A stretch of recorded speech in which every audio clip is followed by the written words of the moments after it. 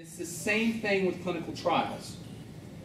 A typical drug, for it to be approved, takes costs over a billion dollars, and it takes 10 to 15 years from conception to approval by the FDA.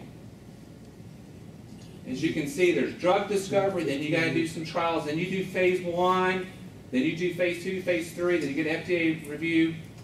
It just takes a long time. And there's a lot of bureaucracy and wasted stuff in all that process.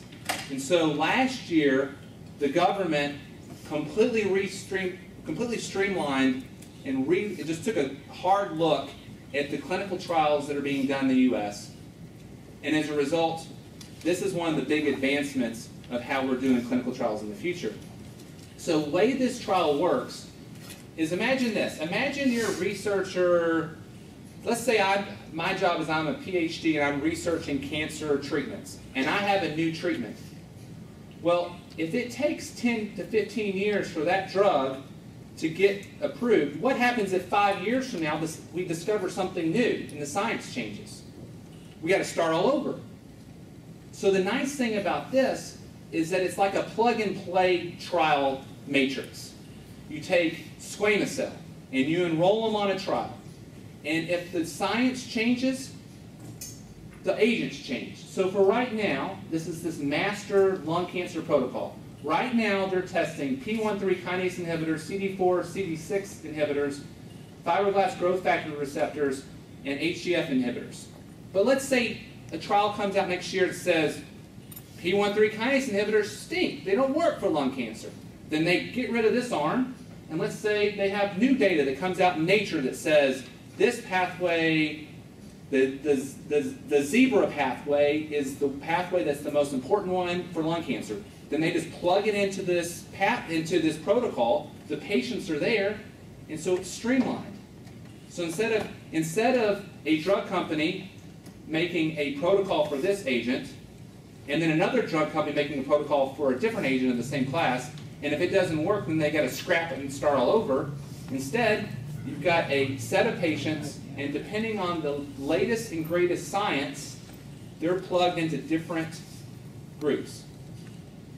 And if you don't have, these are all driver mutations. If you don't have a driver mutation, you get, you get randomized into an immune stimulating drug. So everybody's getting something cool.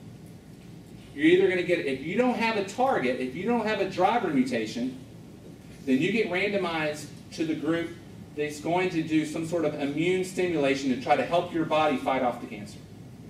I think it's a real exciting future of trials and future for lung cancer. And that is it.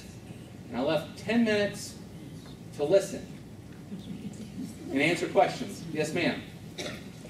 Are any, there any nutrition, any types of nutrition that would improve immunity and prevent?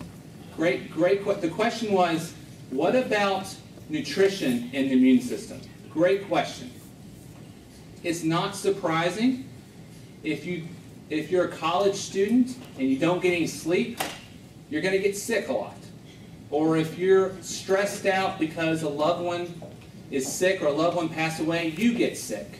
So clearly things like sleep, how what your stress level is, how your appetite is, what you're eating plays a role in your ability to fight off things. So great question. I don't know of a magic formula, but I do think in the U.S. right now there's a very strong farm to table movement. Instead of having things preserved in packages, it's a movement to get it quickly from the farm to the table. And I think that's a great move.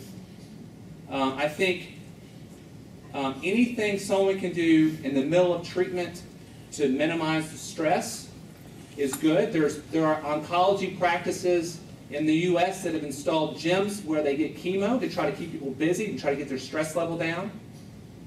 I have um, always been a very strong uh, proponent for regular exercise for my patients who are in the midst of chemo or finished chemo because I think it's just a good stress reliever if they can do it. And there's data in breast cancer that perhaps regular exercise prevents breast cancer recurrence. And a lot of those sort of questions are still being answered. A good question. Yes, ma'am. Um, are most cancers, uh, lung cancers discovered at stage four, or what is the percentage that, That's a very good question. Um, I don't have the exact numbers, but I think, I think I can answer your question. Sometimes cancers are found incidentally. Many times cancers are found in stage three or stage four, where there's not as many things you can do. In the U.S. right now, uh, and the HCA hospitals are very strong proponent of this. So here at Chippenham and Johnston Willis is this lung cancer screening. So with using a CT scan that has less radiation, there is active efforts to do CT scans to help catch a lung cancer earlier.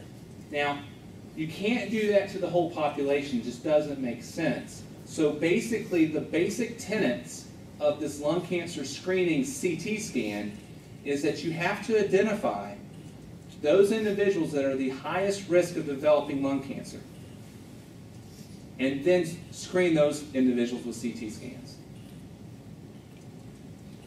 You know, Are we in that group? Yes.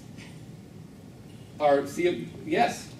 I mean, individuals who, so talk to your primary care physician, and if you're interested in getting, uh, talk to them about this, the ongoing um, CT scan for lung cancer screening.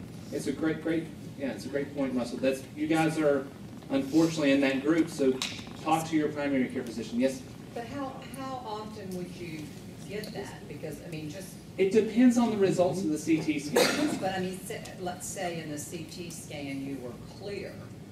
Um, It- So would you get it the next year or? There, there, there are guidelines that are changing, and they use criteria based on what they find on the CT scan. It's like if you go and get your colonoscopy and you have a clear colonoscopy, it's 10 years. If not, you come back in three years, sort of thing, or back in a year. It's the same sort of idea. There are some set guidelines that are followed. Because I'm on the other end of this um, continuum of cancer diagnosis and treatment, you know, it's, it's not something that at Virginia Cancer Institute that we participate in, although we have talked to some of the primary care physicians in town about trying to partner together because we have a CT scanner in the West End and we try, always are trying to figure out how can we use that to benefit our patients, that perhaps with some primary care physicians, we can use these guidelines and try to make it easier. Because, for example, we can get scans in Saturday, and some insurances, if you haven't noticed already, if you get a scan in the hospital, or if you get a colonoscopy in the hospital, it's substantially more expensive than if you get it in the outpatient setting. Well, I was curious because um, my husband died from lung cancer at 46, and he had had an x-ray, and I know they say x-rays don't show Yes, ma'am. cancer usually, but he had had it one year, had not had it the next year, and then had it the next year. And by that time, he had, it showed up on the x-ray, and it was five centimeters, non-small cell. Yes, ma'am. So that's why I was curious. Yeah, the lung. The data, there's been several trials of looking at chest x-rays for screening of lung cancer. And what you just mentioned is the problem with that, is that it's not sensitive enough. And that's where this low radiation CT scan, so quicker scan, don't worry, people aren't worried about, you know, the rate, the cumulative lifetime radiation exposure. Um, but if you look at the trial data, which it came out showing there was benefit, you have to do a lot of scans to find a, a lung cancer. So that's the issue. So that's why they're trying to to um, to make sure that if you're going to do the screening, you're going to do it in the highest risk patients. So those patients who have a smoking history and have underlying lung damage, for example, your neighbor to the left. Yes. Um, my sister and I both have decided we will get lung cancer. Everybody in our family has died with lung cancer. What is a preventative? I don't have it. You need to talk to your primary care physician and get this, do the screening. That's what you need to do. And then, you're obviously not smoking now, right? No. You know, the thing that I would encourage you to do, and this is what I encourage a lot of patients, is for, it's sort of follow up to the lady's question in the back, is get as healthy as you can. Minimize your stress, minimize your stress, eat well, you know, um, try to get regular exercise as best you can. I know that's a struggle sometimes. Um, you know, a couple things to mention of places that I've sent patients to. Yeah, rehab is great.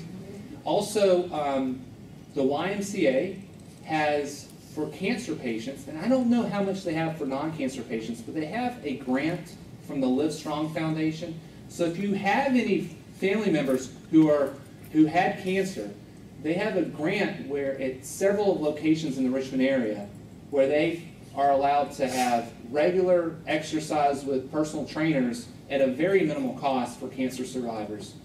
And then there are various health clubs in town, including, for example, what I think of as ACAC. They have a physician-referred exercise program. So those individuals who, who aren't a candidate for something like Russell and the groups here doing with rehab, ACAC has a physician-referred exercise program. It's sixty dollars for sixty days.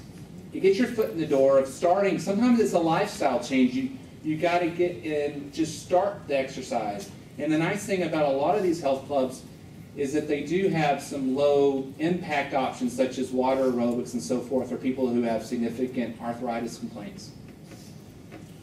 Thank you. Yes, ma'am. What foods build your immune system?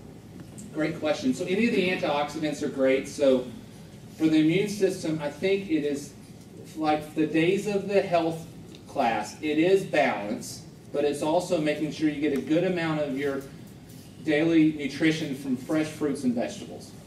We in the U.S. have more colon cancer than folks do in Eastern countries because we eat more red meat, processed food that slow down that passage of food through our GI tract, making it more likely for us to have colon cancer. So less on the fried stuff, less full, you know, less on high percentage of our da- daily calories from meat, more into fruits and vegetables is the healthy.